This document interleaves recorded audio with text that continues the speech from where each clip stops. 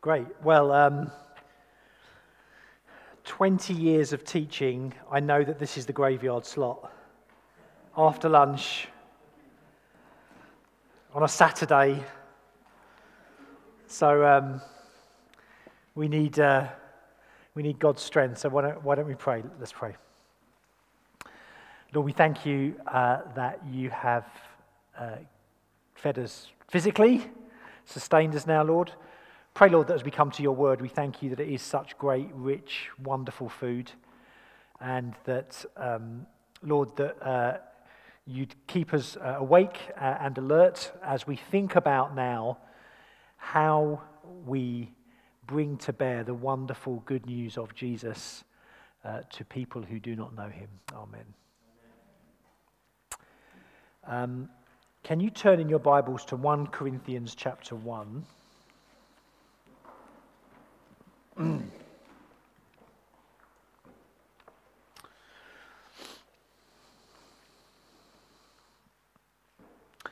so we're going to get back to the magnetic points soon, but we're doing it by way of 1 Corinthians 1.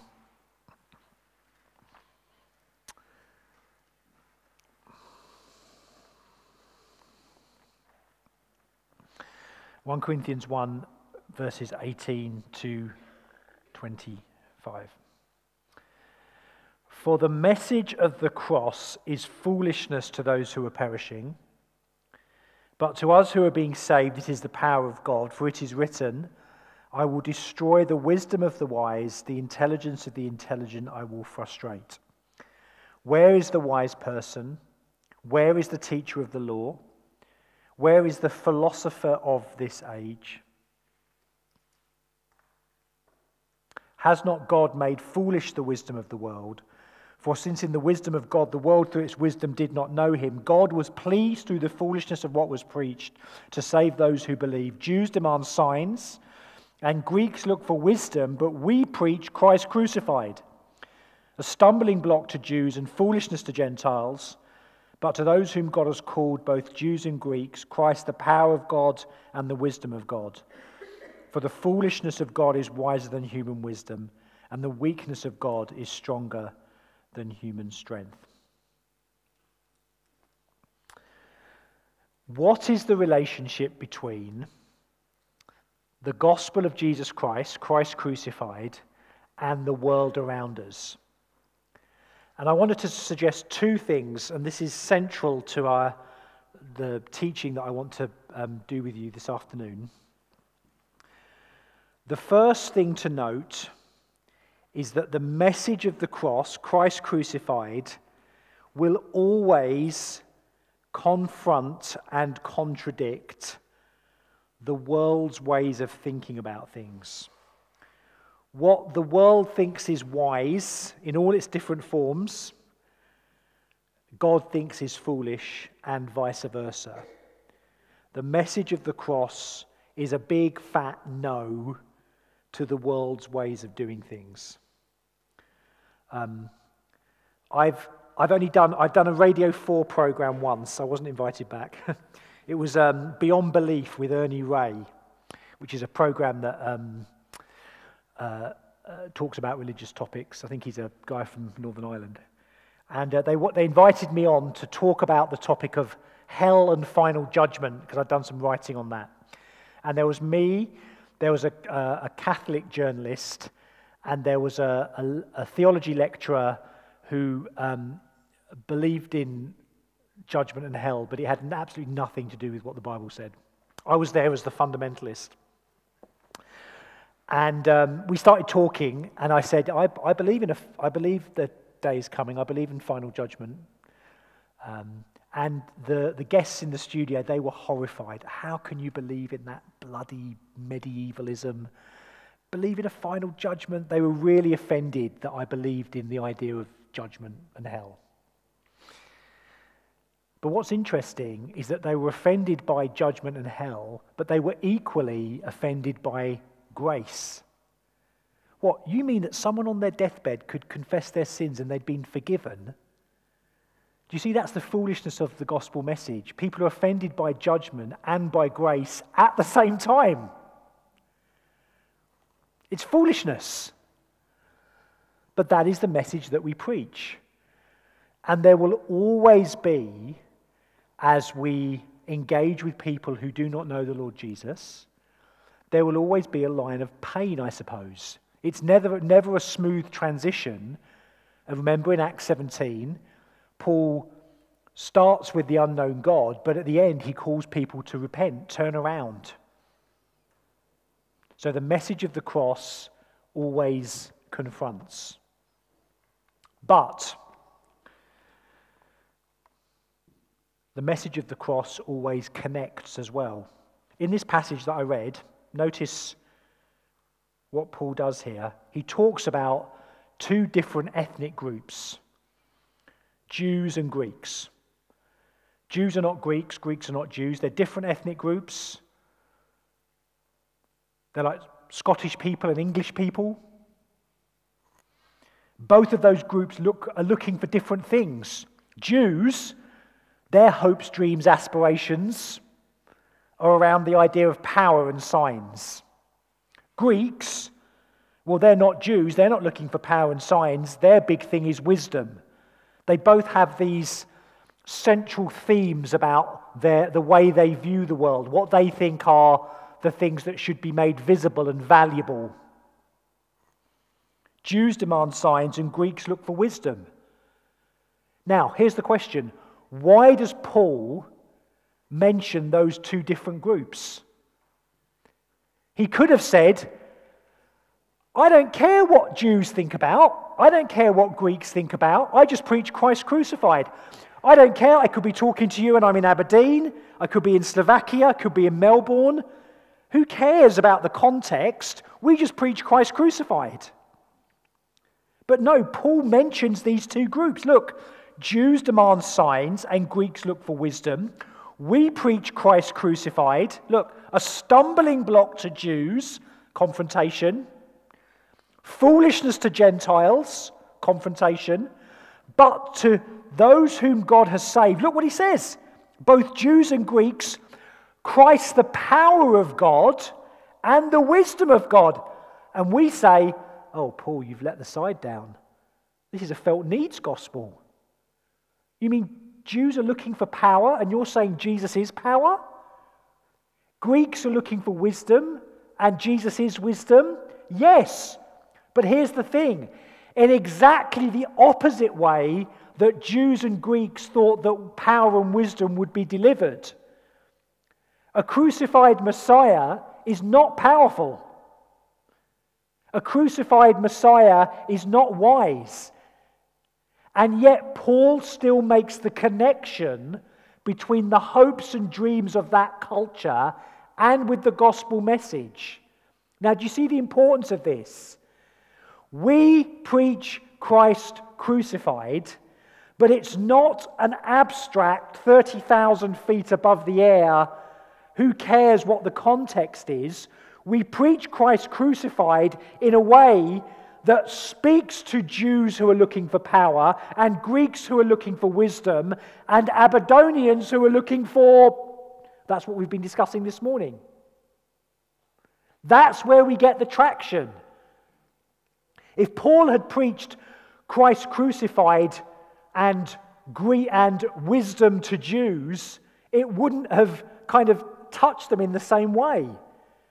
But Paul does the work. The Jewish ethnic group are looking for this, the Greek ethnic group are looking for this. Your contemporary Scot is looking for whatever the contemporary Scot is looking for, and we preach Christ crucified in a way that confronts, but also in a way that connects. Again, back to Acts 17. Paul could have said, Why am I bothering wandering around the, object, the objects of worship? Who cares that they've got an unknown God? We're just going to talk about Jesus. That was the point. He had been, and they said, We do not understand what you are talking about. So he confronts and he connects. And so the gospel is a message that confronts, and the gospel is a message that connects. The gospel subverts every other way of viewing the world, but the gospel always fulfills every other way of viewing the world. And here's this idea, this phrase, it's not even my phrase. I've tried to build a career on it for 20 years. This idea of subversive fulfillment. The gospel subverts and fulfills every other way of viewing the world. And of course, our hope is not simply in a what, but a who. We offer people Jesus Christ, a person. So, this idea of confrontation and connection, this idea of subversion and fulfillment is very important in this whole issue that we're talking about. Because, and again, we'll come on to this little box I've got in the handout soon, but because what I want to do with these magnetic points is to argue these itches that people have to scratch. Remember what we did this morning? totality, norm, deliverance, destiny, higher power. Jesus Christ both confronts the way people are trying to answer these points, but he also fulfills them as well. Now, in another book I did before the magnetic book that you've got today, called Plugged In, um, do, there's a way in which we can kind of uh, see how Paul does this in Acts 17. And that's what we've been doing this morning. So Paul enters into the world. I walked around and looked for your objects of worship. We were doing that this morning. That's, as I said to you, that's what you were doing in those small groups in a very kind of embryonic way, but you were doing it. You were thinking, hey, yeah, I wonder what my, my friend who doesn't know Jesus, I wonder how they find connection, or I wonder where they look for their deliverance, or I wonder whether they think they're in control or not.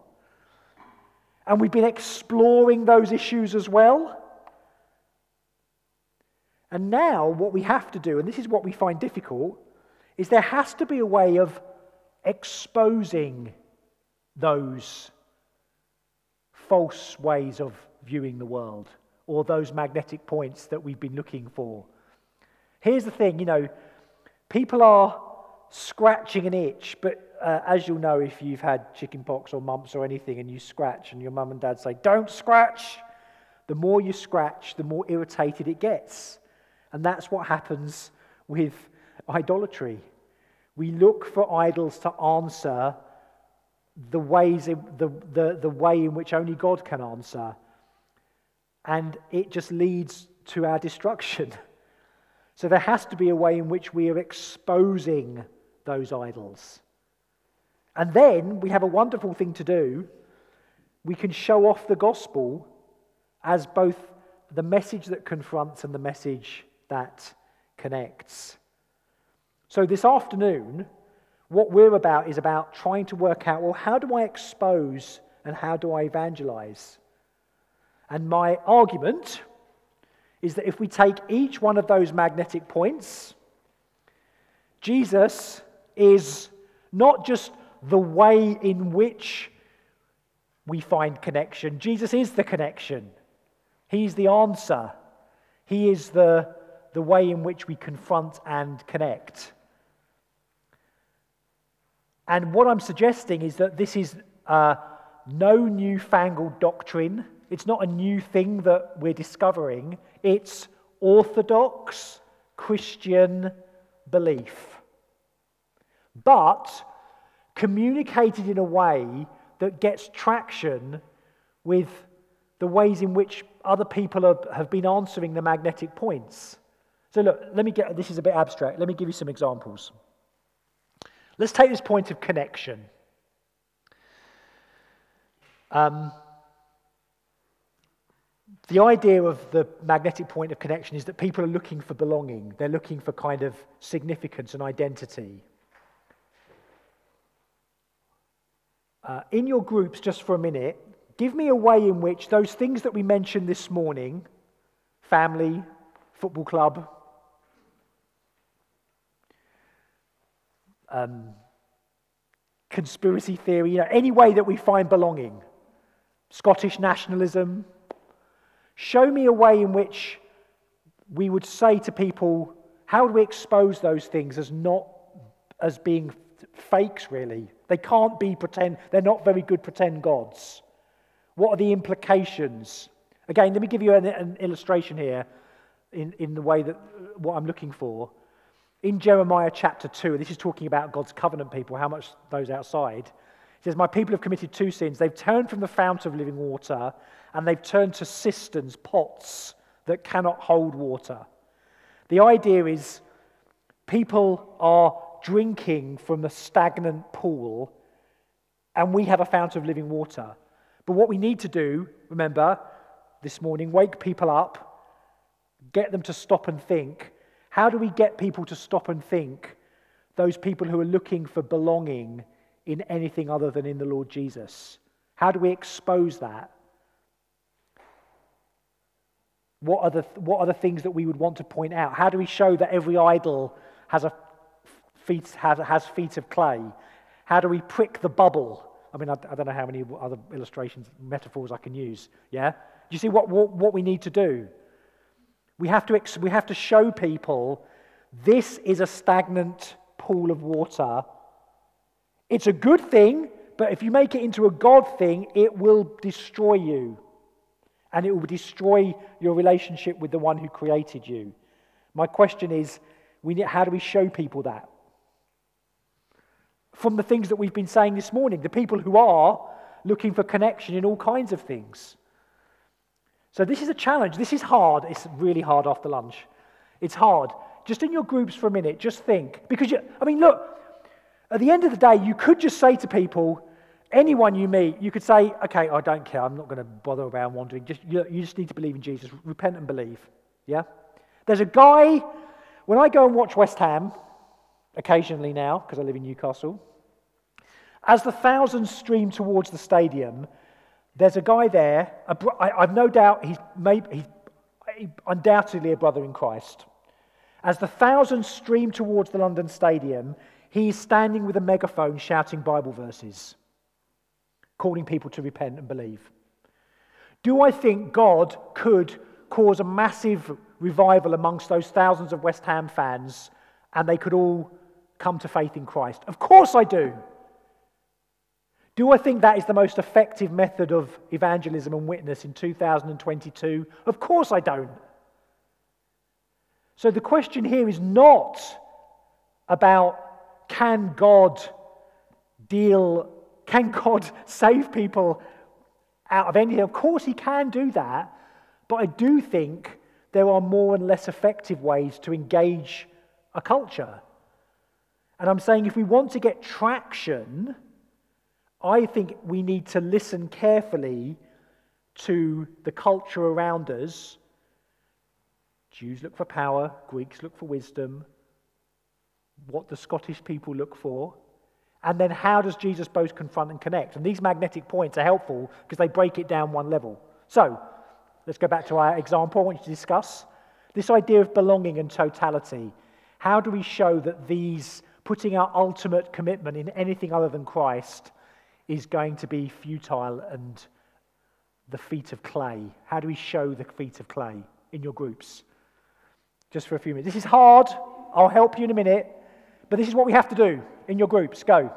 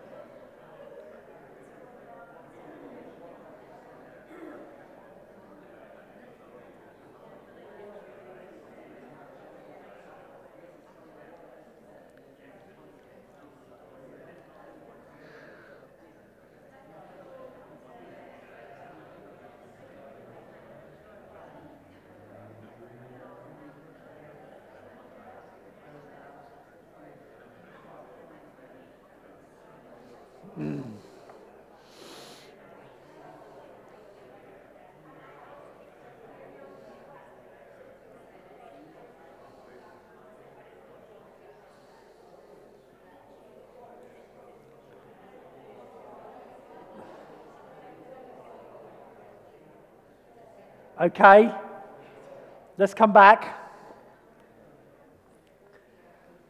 Again, I know that this is this gets the kind of the, the grey matter working. Uh, but yeah, so we're looking for ways in which we can show how the ways that we're looking for belonging and identity are futile if they're not found in Christ what would be some of the things that we might want to say given the examples we gave this morning? This is where you have to be brave and speak up, or else we're going to have a long afternoon. You were talking about something.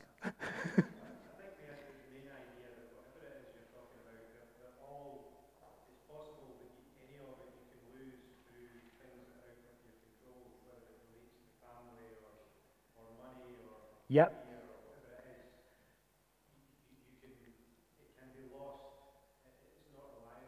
Yes, not yes. So there's a reliability question. Yeah. What, so these things can do well for a certain amount of time, but there was a, there's always the other side.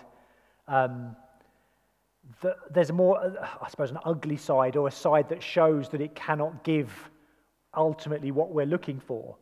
Um, so, for example, I mean, I mentioned this. Um, you know, people, I, I think the sport thing's interesting because sometimes say, oh, yeah, people, they don't really worship sport. It's not that important. But it is important.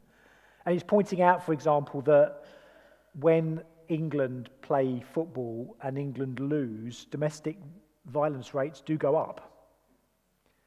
Um, we had a student who ended up writing a poem for me about how his childhood had been governed by what was going to happen at home depended upon whether the team would win or lose that day.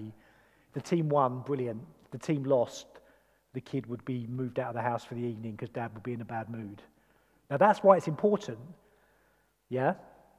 So it's though it's though it's showing these kinds of cracks that, yeah, there's a great sense of identity that you get, but also then what happens when you're on the outside of any of these things.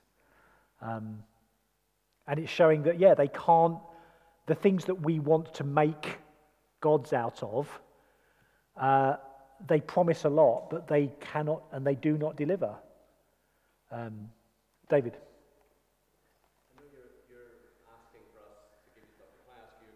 Yeah, of course, yeah. Um, so, welcome to Wrexham, the Disney Plus show that is. yes. You, you, you're obviously enjoying it, yeah.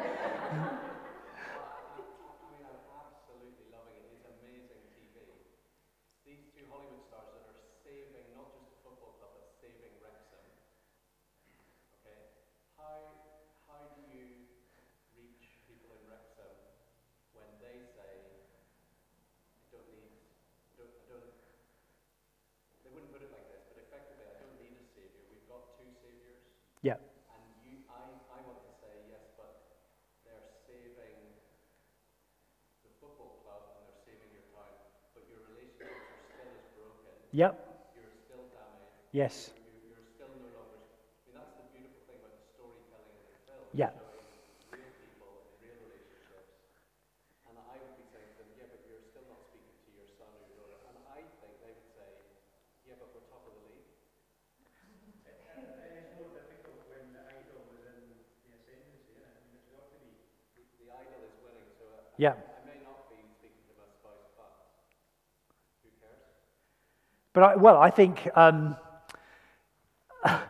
at, that, at, at, that point they are totally in thrall of the idol. I think you, we, we just have to patiently say that that will not always be the case.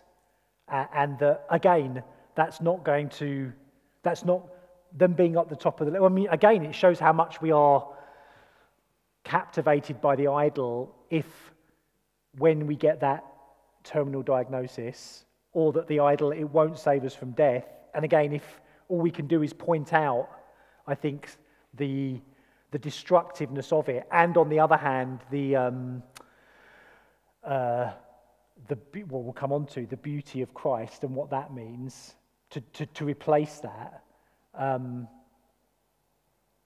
I think, yeah, I, it is just trying to, in lots of ways, to kind of prick the bubble. I, I mean, I, I, can't, apart from, I don't know whether there's a different argument you can use apart from realizing that is someone who is very hardened. But our job, I think, is just to show, present, and sometimes I think, and again, we need to be sensitive to this, sometimes people are, you can expose the idol most when people are most exposed in their lives. I, I was saying this to you earlier on.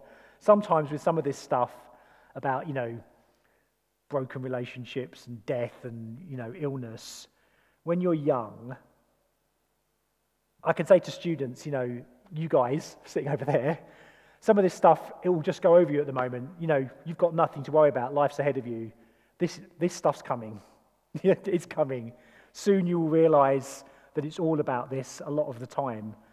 And that's when the opportunities come. Not to say they don't come earlier on, but I'd love you, you guys to be thinking, oh, there was this guy 20 years ago who said this would happen, and actually now it is happening, and I've got something to, you know, um, yeah, I don't. I'm happy for you to come back on that though. If you, if you think there's another, there's a, I'm missing something on the, on that. I mean, I just remember. I always remember it's an extreme example, but it is showing also the kind of, yeah, it's the wake up call. It's the kind of the pastoral wake up from the dream, the throwing cold water on something. I always remember when uh, uh, President Obama became the the, it was the last Democrat rally before he became the official nomination. And they interviewed this lady at one of the rallies, and she said, This is amazing. If Obama becomes president, I'll never have to pay my mortgage again. It's that kind of, like, I know that's an extreme example, but it's the unreality of what we're investing in. Um, and as someone said, as someone over lunch said really helpfully, the, the things that we make gods, we do it because we're sinners. Because again, we'd rather, for example, this idea of fate, in some ways, it's a horrible idea that there's this kind of impersonal force. But fate is really helpful for sinners. Why? Because on the one hand, it does give some meaning to why things happen. It was fate. On the other hand, fate's great because fate is impersonal. I can do what I want, fate doesn't care. And in my sinful nature, that's great to know that there is some meaning, but actually I'm still not accountable. That's how we twist the truth all the time. So the gods that we make are very convenient for us as we wrestle. The, the worst thing for sinful humanity is the idea of a, an absolute personal God who we are dependent upon and accountable to. But we like to suppress the truth. And so, what we have to do is to say, no, you are dependent and you are accountable to this God. And that's where the repentance comes in. Idolatry is not, remember, the Puritans' you know, favorite verse is, you know, to, to you and you alone, God, have I sinned and done what is evil in your sight. Idolatry creates a lot of problems, but it's ultimately against God. And we do have to point that out. Um, just on that um, connection one again, this is where, and again, uh, David will be pleased that I'm saying this, this is where theology is really important. You know, I think the best cultural engagers will be those who are deeply into theology. Why? Well, this idea of connection. Remember, connection is the struggle to say, am I significant or am I insignificant? I can't work it out. Some philosophies, some ways of viewing the world say that we are literally gods. Other things say you are nothing. You're just a kind of, you know, if I added up the minerals in your body, we'd be about 18 pounds or something. I don't know what it is, you know. Are we significant or insignificant? What's a key truth about humanity that answers that question amazingly that we've discussed already today? Who, what are human beings? Who are they? Right, we're made in the image of God. How does the image of God answer the significance and insignificance question? Are we significant? Why are we significant? We're made in the image of God. Why are we insignificant? Yeah, we're only images, we're not God. The Im- what an amazing doctrine! Please don't ever use that doctrine and think, oh, we just made an image of God. That's the foundation of human dignity. That's the foundation of us being able to answer the question well, in a sense, we have amazing significance because we're, we, are, we are made in God's image, but we are not God. We are only images of God. Philosophers have been wrestling with that question for thousands of years, and we have it revealed to us. We're images of God. That gives us our orientation as to who we are. Isn't that, isn't that just amazing? Yeah? We want connection. But so often our lives are about disconnection. We're disconnected. We're disconnected from, and this is what I'd want to be saying to people. We are disconnected. We're disconnected from ourselves. The environmental question is about being dis- disconnected from creation. And all of those are symptoms of being disconnected from the one who made us. All this is is kind of Christian theology, but in a way that tries to answer the questions or the, the issues that people are dealing with, which are theological issues. Jesus is the way that we live, Jesus is the norm. You know, G- Jesus does present a standard. Jesus is, in a sense, those of you who are more conservatively minded in your temperament or in your kind of politics or whatever, Jesus is a great conservative. There are moral laws and rules that Jesus presents, that Jesus is. But Jesus is also for or Jesus is actually against hypocrisy. He's against rules for rules' sake. He's against, the mar- he's, he's against those who want to push out the marginalized. So Jesus is both conservative and progressive at the same time in a way that should confound conservative and progressive at the same time. Jesus says, Do not think I've come to abolish the law. I've not come to abolish the law, but to fulfill them. Jesus presents a standard but this is where, I suppose, the doctrine of sin is good news because Jesus is the Savior when we fall from that standard. Isn't that an amazing thing? Some of you will have heard this book by um, um, Douglas Murray, the conservative cultural critic, called The Madness of Crowds. Isn't that a gay atheist guy? Interesting book. But there's a, the tragic bit about that book is he has this little section where he says, what, the problem, part of the problem of our culture is that we've lost the idea of forgiveness. I don't know where we'll find that from, the idea of forgiveness. Jesus, is, Jesus gives us a standard. In fact, Jesus says the standard is so high, none of you can keep it. But he did. And Jesus offers forgiveness and reconciliation and restoration. Isn't that an amazing answer to cancel culture? Isn't that an amazing way that we can deal with disappointments in our lives? Jesus is the way out. Jesus says that all of the mini deliverances that we're looking for are actually symptomatic of a bigger deliverance that we need. Yes, there's lots of kind of uh, uh, uh, uh symptoms, but the real diagnosis is that we, did, we need deliverance from God and his wrath against sin. Jesus is the way of control. You know, again, this is a wonderful truth.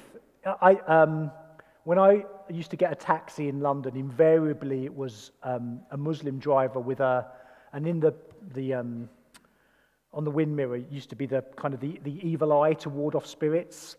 Common. I mean, I can say as a Christian, I don't deny those evil spirits exist, but I believe in one that's Lord over all of those spirits. I don't believe in a malevolent, impersonal force. I believe in a loving Heavenly Father. I don't believe that human beings are just victims, but I believe we have accountability and responsibility, and God's got a plan, and that gives me great freedom as a human being. Now, again, these are, do you see what I'm trying to do here? I mean, I could, I could just go up to someone out there, the, the the Just Eat driver who's just driving past, I could stop him on his scooter. I've just seen him. I could say, you need to believe in Jesus, repent and believe. But what I need to do is to do that, but in a way that gets traction because he has hope stream. He's, our, he's living these magnetic points, and we have a way to kind of re- respond. Jesus is the higher power. He is the way beyond. Jesus says, I'm the light of the world. Whoever follows me will never walk in darkness, but will have the light of light. So, this is where these magnetic points are, are really, really helpful. And I hope this just kind of gets the cogs whirring to say, yeah, do, do you know what? I, I, there's a way in which I can, I can understand where, how people are answering these magnetic points, but I could say something to this. Um, and that's why, as I said, theology and deep theology is important because the richer of resources we have, the more we can confront and connect at the same time. Now, before we go on, because we're going to go straight into what was on the session here, session three, and this will clarify even more. Are there any? Are there any? I want I'm interested in any questions at this point on that on that material.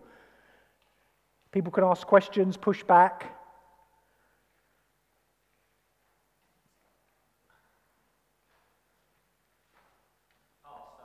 Yeah, I'm glad because I don't want him going on about Wrexham again. Yeah, go on. yes.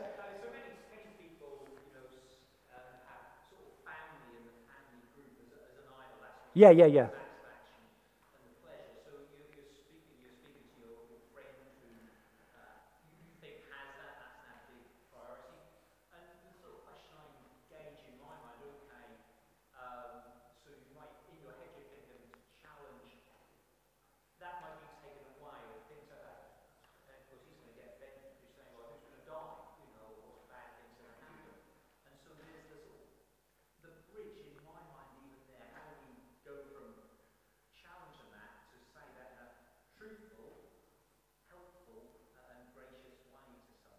Yeah.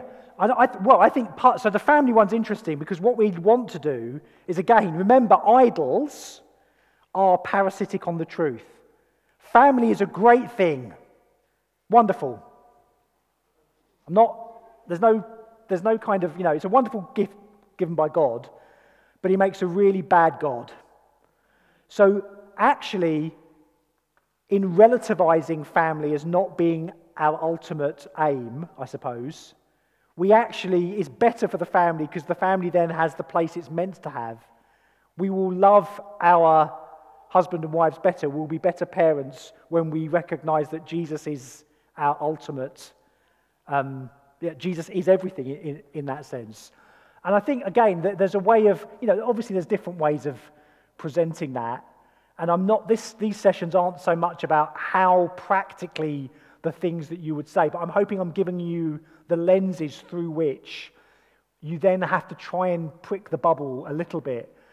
For people whose whole hopes and dreams are around family or legacy or those kinds of things. Um, uh, and I think, it, yeah, it's two, doing two things, isn't it? It's showing the fount of living water and the crack cistern. It's not all about deconstruction.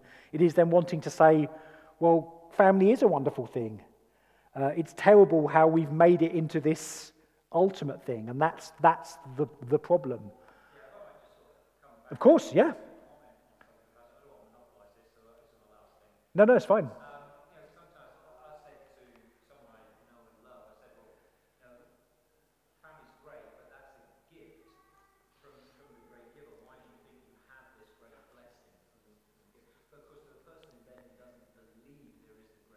Yeah.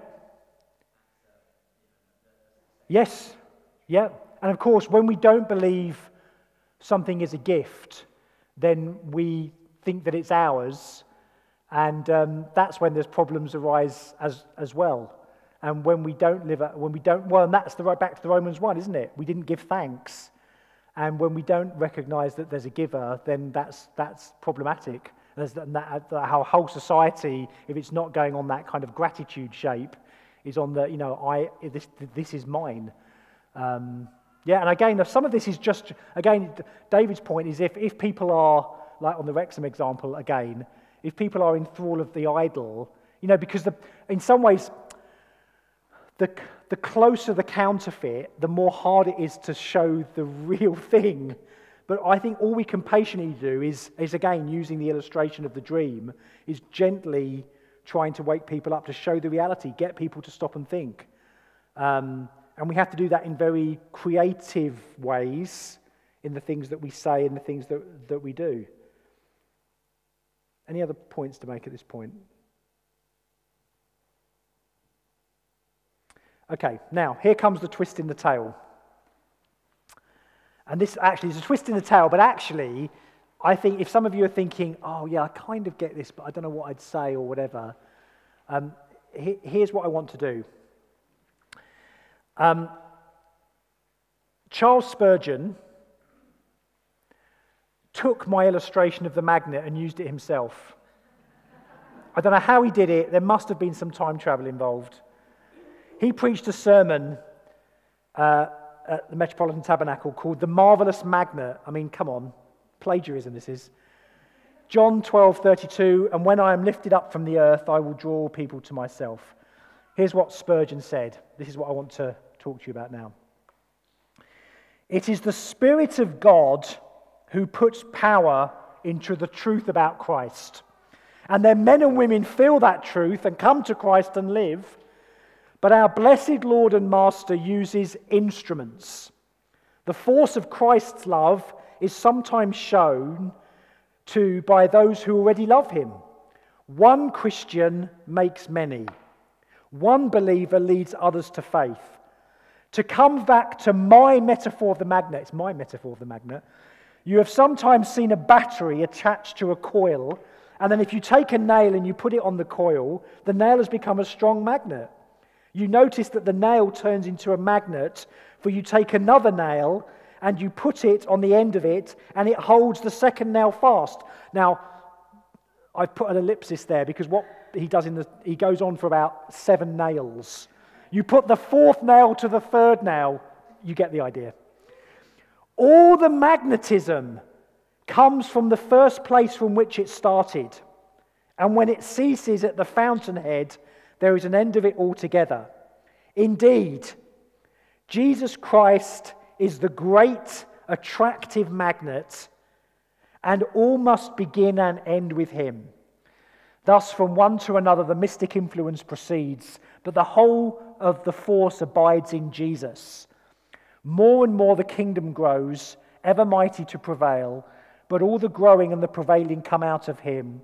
So it is that Jesus works first by himself and then by all who are in him. May the Lord make us magnets for himself. Now, why is this important? The book that you have been given today, Making Faith Magnetic, was originally given in, to seminary students in courses on evangelism and apologetics. And one day, a few years ago, one of my brightest students, she put her hand up and she said, this is, this is really good stuff, but why, why is this material in the course on evangelism and, and, and apologetics? Surely, shouldn't it be in a class on our own Christian discipleship? I said, What? She said, Yeah, look, I need to be applying these magnetic points to my own life in the common struggles that I still have, which are the same as other people's struggles. And when I see how these apply to my own life, as I see how I need to be magnetized by Jesus and not pulled away by other things, so that will give me a feeling of fellow feeling with men and women who don't know Jesus, and that will help my evangelism. In other ways, in other words, this is the big thing, and I'm still working this through in my own mind. It's so obvious. Our evangelism flows from our discipleship. Let me say that again. Our evangelism flows from our discipleship. In some ways, that's the, the better context for the Jeremiah 2 passage. Be appalled at this, you heavens, and shudder with great horror, declares the Lord. My people have committed two sins. They have forsaken me, the spring of living water, and have dug their own cisterns, broken cisterns that cannot hold water. Spurgeon is saying that we stay magnetized by being attached in union with Christ. And as that happens, so we will be attractive to others who will be attracted by us as we stay to Christ. As soon as we kind of, as soon as that is kind of questioned or, or we start being demagnetized, we will lose our witness and effectiveness. Because we are either being formed by Christ or being deformed by something or someone else. If, you're not, if we're not being drawn to Christ, we will be being drawn away by something else. Friends, there, there, there is no neutrality here. We're either being drawn by Christ, we're either being magnetized by Him, or we're being pulled away. That's why 1 John finishes with, Beloved, keep yourselves from idols. And here's the thing no one wants to be, no one wants to be spiritually like that fridge magnet that just you stick it on the fridge and it just slowly goes down and can't hold anything. We don't want to be weak fridge magnets for Christ. We want to be those magnetized fridge magnets that will stick to anything. Now, as I've done this material, and I, um, I kind of, I, there's an email in the book at the end. You can, I, what I want people to do across the world is to think of these magnetic points and um, I'll be expecting a, an essay on Wrexham, please. Uh, right, because I'm trying to get an encyclopedia of cultural examples of, of the magnetic points. And um, uh, a physics teacher wrote to me. I'm, I'm terrible at any kind of science, but here's what the physics teacher said. Some of you may be science teachers out there. This may, I hope this is true. I hope, this is, I hope this isn't kind of just fake news, but this is true. Look, he said uh, he'd, he'd read the book and he'd heard this stuff. He said some mag- materials can become magnetic when placed into a magnetic field, as they are made up of lots of regions called domains, which are essentially just mini magnets. When not in the magnetic field, they align randomly and cancel each other out, so there's no overall magnetic field. But in the presence of an external magnetic field, these domains are then caused to align with the external field. I'm sweating because this takes me back to science classes. So now instead, instead of cancelling each other out, their strengths combine to cause the material to become magnetic as per the diagrams below. Is this true? I'm getting, yes, thank you. A science person's nodding. Now, listen to this. Relating it to Spurgeon's illustration, our hearts are like the unmagnetized material. We are fragmented, and our inner desires, commitments, and loves, emotions, beliefs are attracted by different created things. Think David's give me an undivided heart prayer. As Christians, this means that we're not magnetic. What we need is to be close to Christ. As we behold His glory, spend time in His magnetic field, all these inner mini magnets that were all attracted to other things become attracted to Him and start again. This then makes us magnetic. I thought that was quite good. Of course, you can push these illustrations to the point of kind of, you know, absurdity, but I think that's great, isn't it? I think that's great. And so, what I would love us to do is to recognize, and I say this to myself all the time, you know, look, the, the, the way that we will attract others to the Lord Jesus is as we are magnetized by Him. Our evangelism flows from our discipleship. And what I would love us to do is just think for a minute. I deal with this in the book, so you can go over and spend time. I just want you to think in all of these areas of the magnetic points, where are we tempted to be pulled away by, by other things rather than being magnetized by Christ? Where is it in our lives, in my life, that I look for connection and belonging other than in Christ? Now, at this point, can I borrow a copy of my book? Because I don't have a copy. Thank you. Thank you.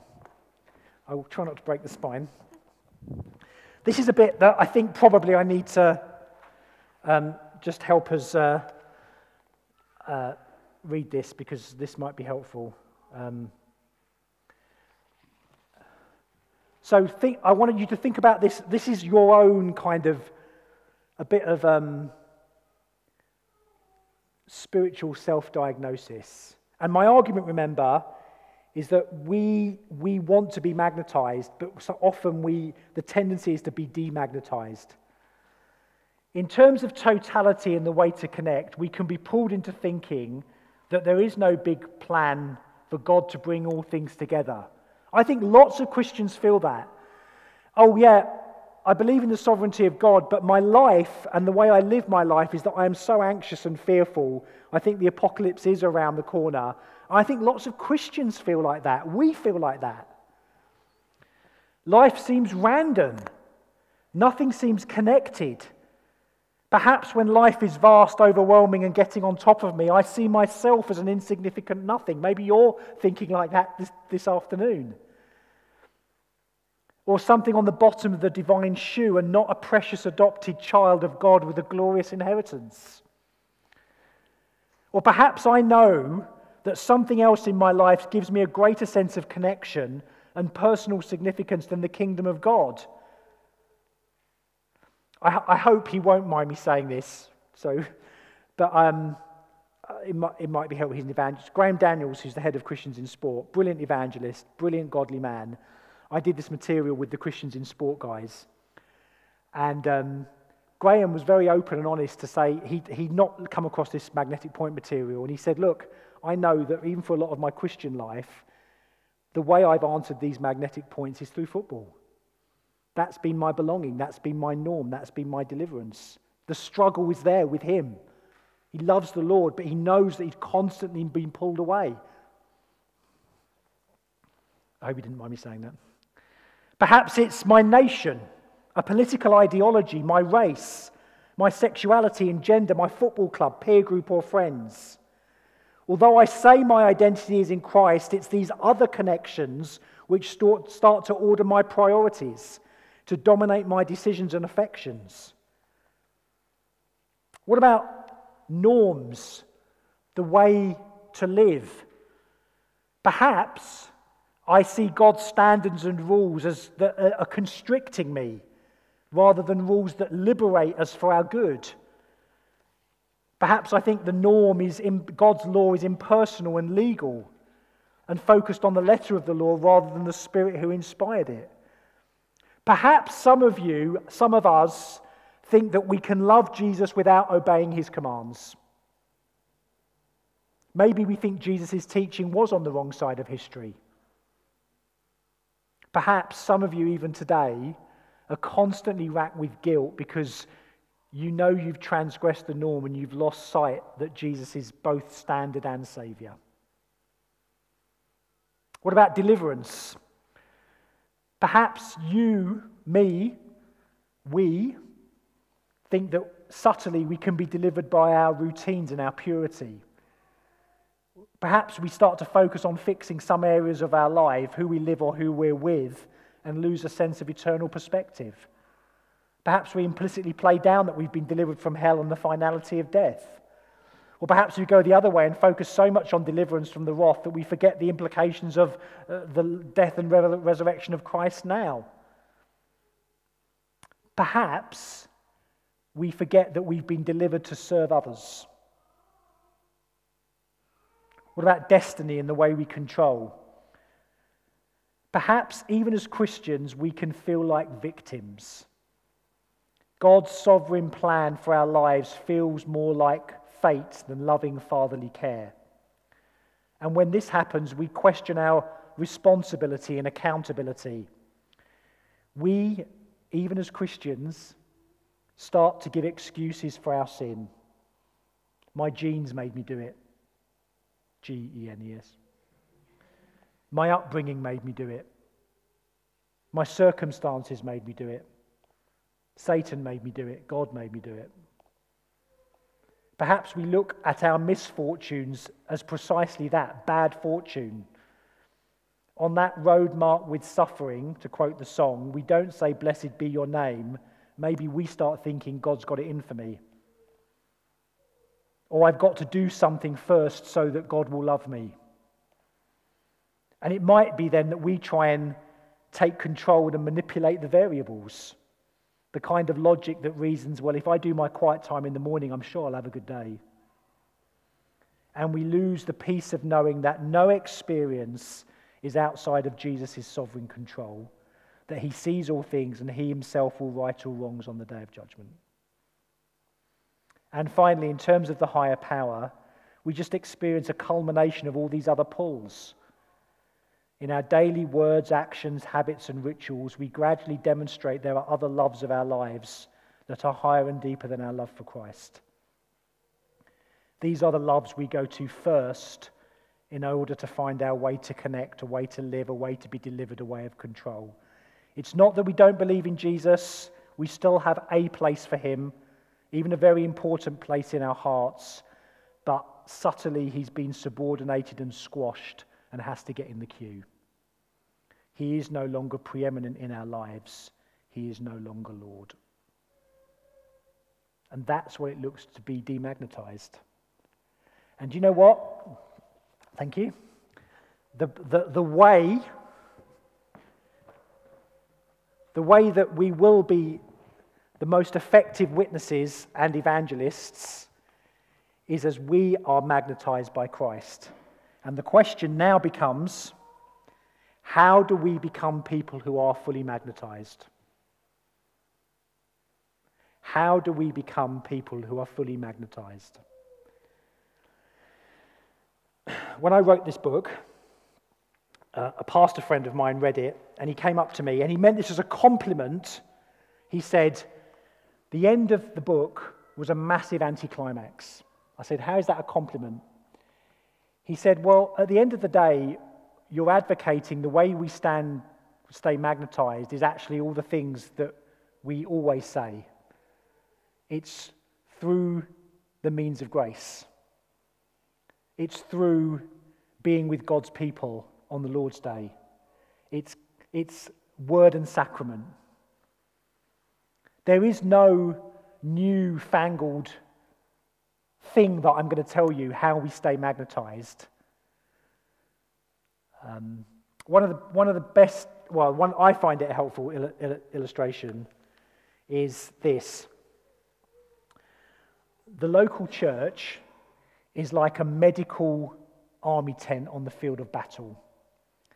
And David and the other elders and the other leadership team, they're like the army medics. And every week, you guys have been out on the field, and at the end of the week, you're tired and you're hungry and you're disorientated. You've been pulled in all kinds of different directions, and you come together and gather together, and you're fed by God's word, you're bandaged up, you're reorientated, and then you're pushed out again. And you know what? In a week's time, you're tired. I'm going to do a Spurgeon. T- I'll do this for about 10 minutes now. You're tired, you're hungry, you need to be bandaged up, and you come back, and then you're fed, and you're bandaged up, you're reorientated, and you're pushed out. And it happens again and again. It's the means of grace. That's how we stay magnetized. And that, that, again, I, you know, there's no magic bullet at, at, at that point. And so, how do we become people who are fully magnetized? Well, firstly, we, it's by loving Jesus, listening to him in his word. When Jesus prays, my prayer is not for them alone. I pray. This has been a very, this has been a very important verse to me. I, in some ways, it's, it is related, but my prayer is not for them alone. I pray also for those who will believe me through their message. This was a revelation to me because Jesus is saying that he only prays for people who believe in their message. Who are they? It's the apostles. It's only the apostolic message that, that, that is the Jesus that then Jesus prays for his people. We need to listen to Jesus in his word. We need to obey his commands. Jesus says, You are my friends if you do what I, com- I, I command. Our society finds it very difficult to put love and obedience together. We think they are two opposite things but they are together. If you love me, you'll do what I say. We love Jesus by meditating on his majesty. We're, we're so distracted by all kinds of things, even like the way that our, you know, the physiology of what we do on our phones and all of this stuff. You know, how do we spend time with the Lord Jesus? How do we meditate on his majesty? How are we captivated by him?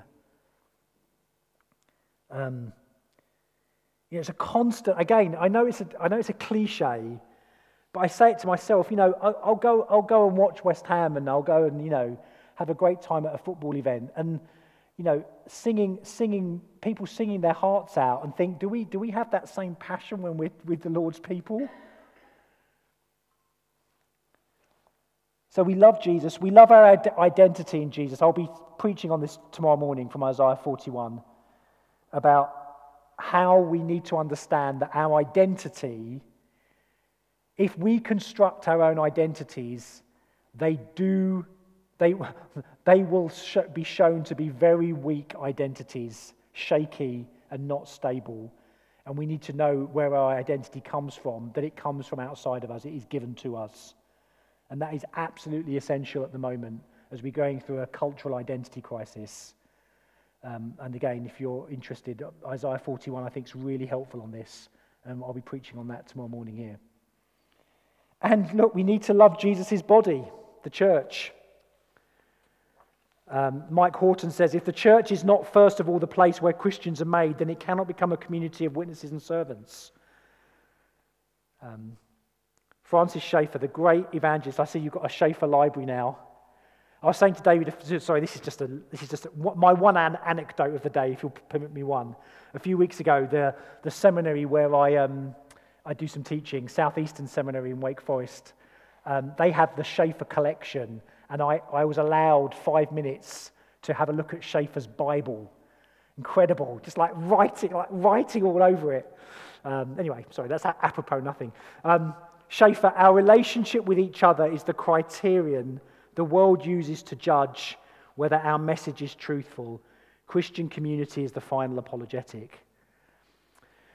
Here's the thing we have to wrestle with because sometimes when I do this material and we talk about the connection, belonging, and I say that this side of the new heaven and new earth, that the church is the way that we experience true belonging and community. And people say, oh dear, don't, is that, that's not my church. Don't use that as an example. Just, just, just, just, just talk about Jesus. Don't talk about the church. But don't you see that there's a, that there's a, there's a, a, a community of people, real people coming together? The church should be it, faced with that student of mine who's been converted out of a, a very strong lesbian culture where they all looked after her and she felt be- belonging the church needs to show how it is a greater sense of community and belonging and diversity. Now, that's the challenge for us. How do our churches show that, demonstrate that? People who are homeless, rootless, don't want to look at inside the church and just see people who are gossiping, backbiting, devouring each other, they might as well stay where they are while they want to join a church. Now, I'm not saying, I mean, again, this is the other, you know, I used to talk about the church being like a, a the, the show, a show home um, on the building site, and it's the greatest. Of course, the church isn't like a show home because, you know, there's a lot of mess in there. It's more like some huge restoration project that the Lord is using and it's been built. Um, but again, I think, that, you know, the church should be an amazing witness to belonging and connectedness. And that's a challenge for, for, for, for us. Um, again, that Schaeffer quote is so powerful. It, it, that it, it, it is the, the criterion the world uses to judge whether our message is truthful. Um, and, and that does include, in love, that does include things like discipline, church discipline, and it does include orthodox doctrine. It needs those things completely. So we stay magnetized by the means of grace, doing the things that we've always been doing. But I hope this material is helpful in just saying what we do is relevant to what's happening out there. People are out there worshipping. They are looking for connection. They're looking for a norm. They're looking for deliverance. They're looking for destiny. They're looking for a higher power. We know underneath theologically what's going on. These are people who are suppressing the truth, substituting it for other things, running to God, running away from God. They know Him and they don't know Him. And we come with the Lord Jesus Christ. And He is our connection. He is our norm. He, he is our deliverer. He is, he is the one who is in control, and yet we have significance and, and destiny and agency. He is the way, the truth, and the life. Let's pray. We're going to have a break, and then the fourth session is called Over to You. Well, we're going to do it in a structured way, give us a chance to reflect on the day. And I'd love to hear some more thoughts from you about anything that we've been talking about. I've left it fairly open ended because it, sometimes this material needs a bit of time to um, gestate, I suppose. Um, but we're going to. Uh, we're going to pray and then we're going to sing and then we're going to have a coffee break. Let's pray.